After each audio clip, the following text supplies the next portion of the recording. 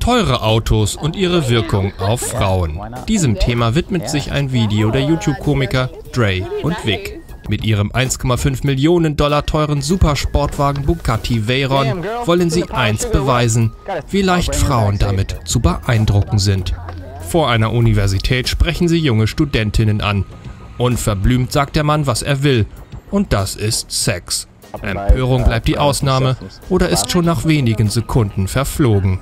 Do you have like 30 minutes, an hour? I don't really have much friends. I just want to go have sex real quick. I mean, you, what kind of girl do you think I am? no, I mean it's just gonna be it's just gonna be real quick. Nothing weird. We're, this is my car. We'll go.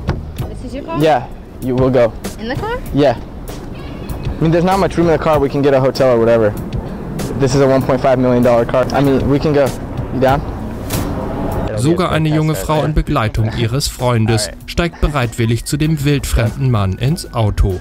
Auch wenn die Idee dieses Videos nicht originell und das Ergebnis nicht überraschend ist, Bia ernst, sollte man diesen Streich natürlich nicht nehmen.